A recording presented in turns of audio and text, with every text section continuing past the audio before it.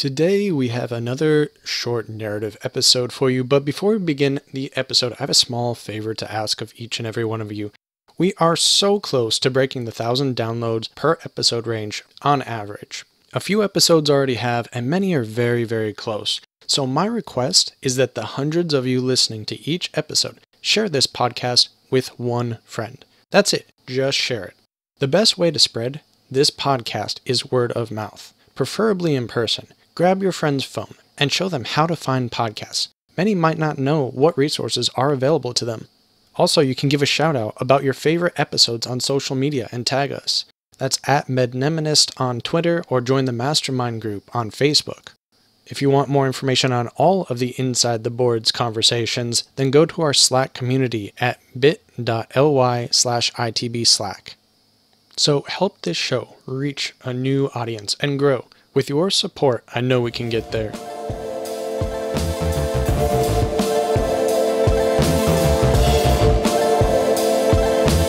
Welcome to the Medical Mnemonist Podcast, your source for memory techniques and accelerated learning in higher education. Now, here's your host, Chase DiMarco.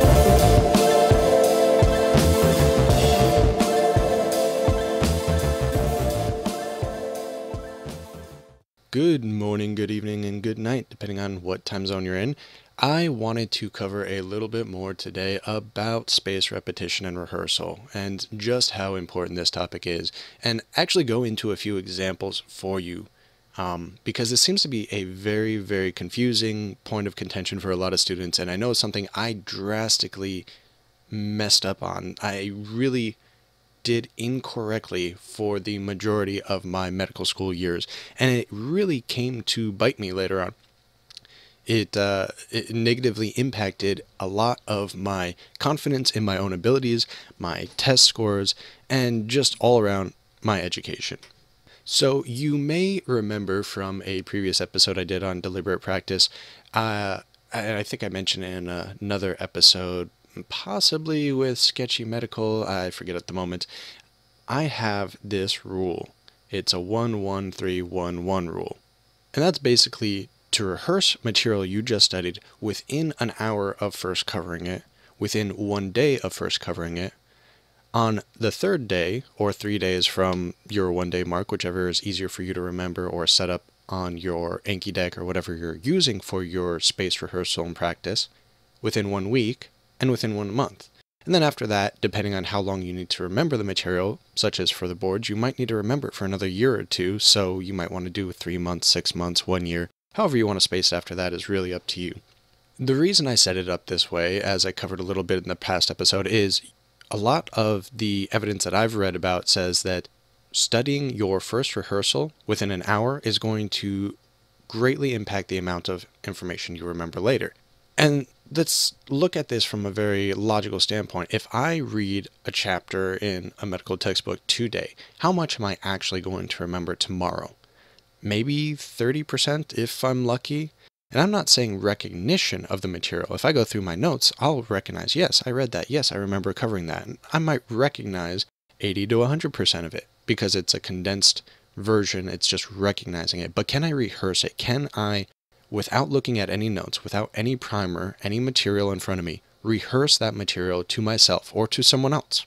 That is the difference in rehearsal practice. You need to be able to actually teach this material, or at least be able to recite without any other markers the material pretty much verbatim. Now, you're going to have your own notes. You're going to put everything in your own words, and it's actually very beneficial to translate other people's notes into your own words. This allows your brain to synthesize the material and make sure you're comprehending this knowledge.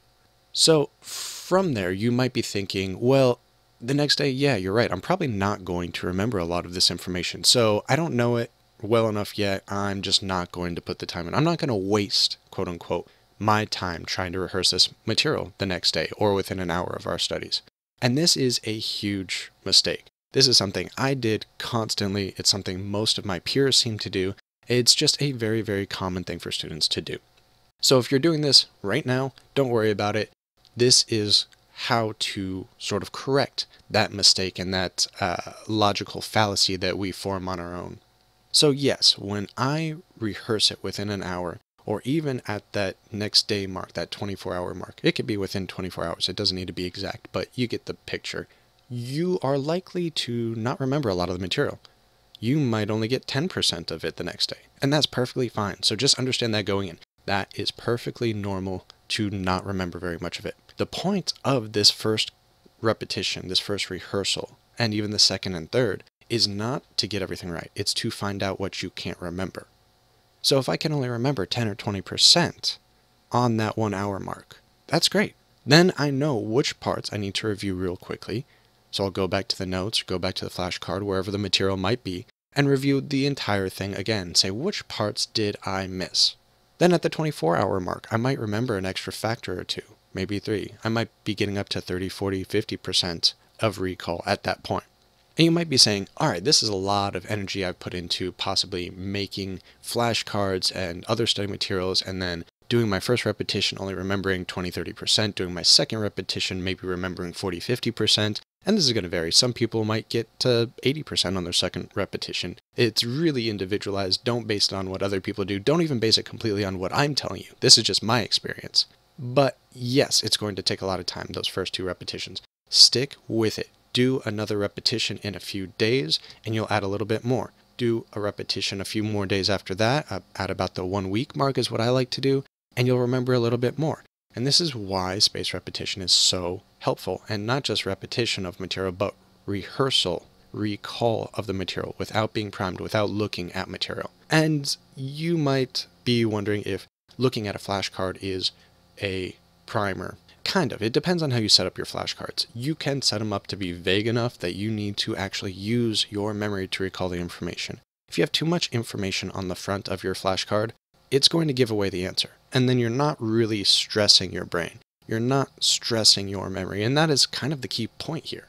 Another aspect is like we don't want to do this practice initially because it's so mentally taxing, you have to schedule it properly because it's so mentally taxing you cannot really expect to do eight hours a day of this type of study. It's just going to be too much. The cognitive load and stress on your mind is going to be too much. It takes a lot of energy. And we know that our brain already takes up most of our energy throughout the day anyway. I mean, the brain takes 60, 80% of our daily intake of glucose. So, yes, it's an energy hog just normally running. So, when we're doing this very strenuous, mentally taxing activity, it's going to wear you out quickly. If you can do even an hour a day, that's great. If you can make it up to two or three hours a day, that is awesome. The more you can fit into your schedule, the better. Okay, so now we're getting closer to maybe getting closer to that 80 to 90% mark, maybe even 100% on some topics that have less to memorize. So if we're taking a topic like cardiology, there is a lot of information. Remember, there's a lot of pathophysiology, there's a lot of medications, a lot of different diseases you might not be able to remember every single bit for each particular disease. Not initially, anyway, but you'll get up to that. You'll build every repetition. You'll build a little bit more of that memory foundation. You'll build a little bit more of the information you couldn't remember before because you'll point out, oh, shoot, that was something I got wrong. Oh, that was difficult to remember. Making note of it during every repetition will help you on future repetitions. So that's why doing multiple spaced repetitions is going to be beneficial as well. Don't just stop at two or three. It's really not enough for many of these topics, at least not for the long run. You might remember it to the end of the week or the month, and then you'll forget it. So if you're finding that that's happening to you, you need to increase the number and possibly the frequency of your rehearsals. This is something that can also be applied to our memory palace training. So if we have a lot of memory palaces or different visual markers, if you're using memory palaces, the linking method, also known as the journey method, or any other visual tactic to remember a lot of complicated material, you want to add those to your rehearsals as well.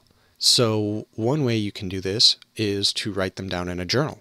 Actually, that was something that was mentioned on a past episode with uh, StatMed Learning, the STAT program with Ryan Orwig. He requires all of his students to write these down in a journal. If you can't draw them out, that's perfectly fine. You can just verbally write it out. Whatever is going to act as a reference for you. So if you forget a point later on during one of your rehearsals, which is going to happen, you have a reference point to come back and say, oh, that's the part I forgot, and then add it back in. If you can draw these out, that's awesome. I know there's even some programs coming out there. Uh, I think Picmonic has one where you can make your own uh, visual markers. There's also the artofmemory.com, which has different programs that you're able to create your own memory palaces. So you can use these, create your own visuals, and either print them out, add them to a flashcard deck, whatever is easier for you. But the main point we keep coming back to is no matter what type of material you are using, you want to be very deliberate with what you're doing. Don't just keep following a routine because someone said so.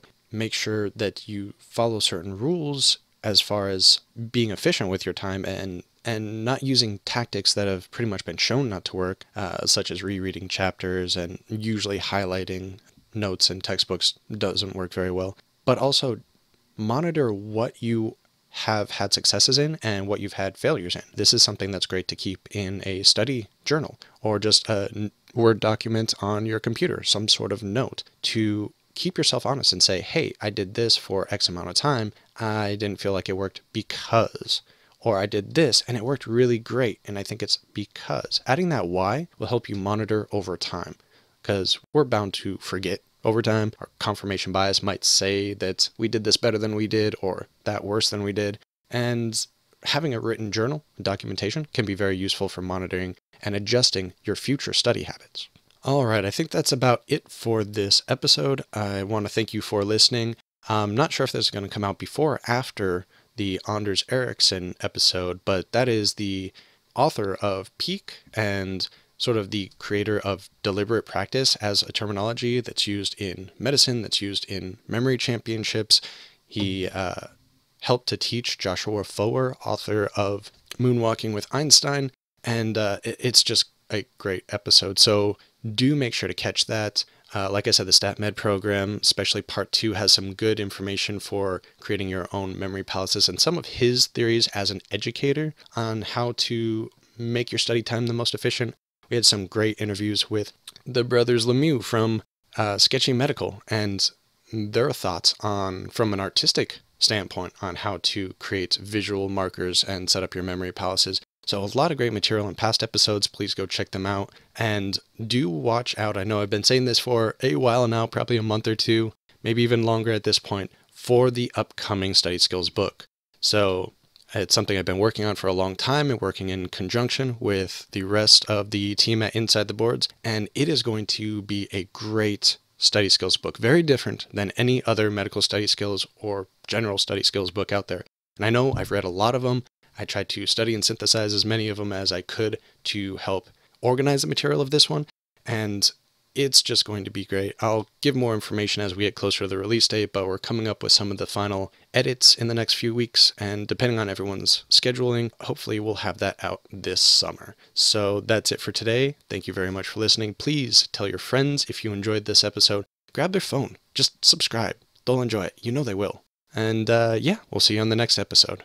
Hold up. Before the episode ends, I did want to toss in one more thing. It's been a while since we mentioned the All Audio Cue Bank, our ITB Inside the Boards app. So if you haven't checked it out yet on iOS, please go download that app. This will give you the opportunity to listen to a bunch of great audio recordings of board style questions on the go. Whether you're driving to and from school, work, in the shower, cooking, cleaning, whatever it might be, you can get some extra study time in by listening to these questions. Also, if you haven't checked it out yet, we have our new addition to the ITB network of podcasts, which is the Physiology by Physeo podcast. So go download that, get a refresher on some of your old physiology materials, or if you're studying it now, it is a perfect resource to add to your curriculum.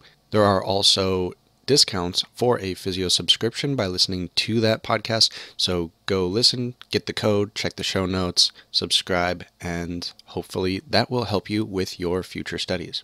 All five of our podcasts in Inside the Boards network are constantly receiving great discounts and coupon codes from the top leaders in education that we interview and that sponsor our show. So go check out all five shows in the podcast. Just search Inside the Boards and they should all show up on your podcast player. Remember, if you help support us as we grow, it'll give us the ability to get out more information for you, better information, higher quality, more frequently. We do it for you. So your support is greatly appreciated.